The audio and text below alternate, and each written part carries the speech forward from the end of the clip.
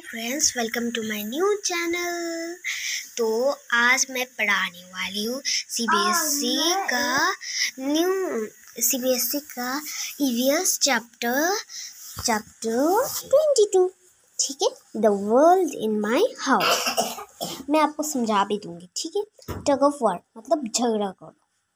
Once again everybody in Marita's family is quarrelling over watching the TV मतलब फिर से सब लोग टीवी देखने के लिए झगड़ा कर रहे थे। Just like they do every day Marita just like they do every day मतलब जैसे सब दिन वे यही करते हैं, झगड़ा करते हैं। Marita's brother want to watch a cricket match Marita's brother को क्रिकेट मैच सीखना है। Why little Susan is anger towards the favorite program of song? मतलब उसके उसके और एक छोटा भाई है और बड़ा भाई है, मरीता। ये उसका छोटा भाई सुनसान, ये उसका पापा, उसकी मम्मी और उसकी दादी। तो वो टीवी देखने के लिए झगड़ा कर रहे हैं सब लोग। तो उसका एल्डर ब्रदर मैच देखता है क्रिकेट मैच उसका छोटा भाई वो भी गुस्सा है और अपना गाना चैनल देखने के लिए गाने। फेवरेट प्रोग्राम है।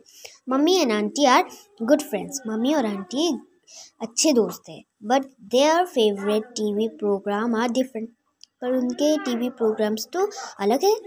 Mummy like to watch the news while aunty enjoy है टीवी सीरियल मम्मी को अच्छा लगता है न्यूज़ देखना, पर आंटी को अच्छा लगता है एक सीरियल देखना।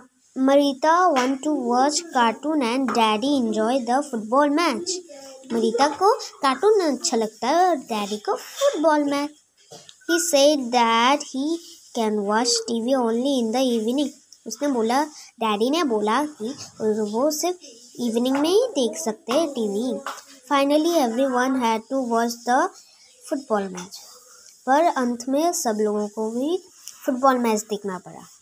तो नेक्स्ट वाला देखते हैं। क्वेश्चन आंसर तो क्वेश्चन आंसर्स में है। क्वेश्चन आंसर्स तो आप लोग जब आपके टीचर दे देंगे तब आप लिख सकते हैं। आप, आपके टीचर नहीं दे सकते पर ये कोई इम्पोर्टेंट नहीं है।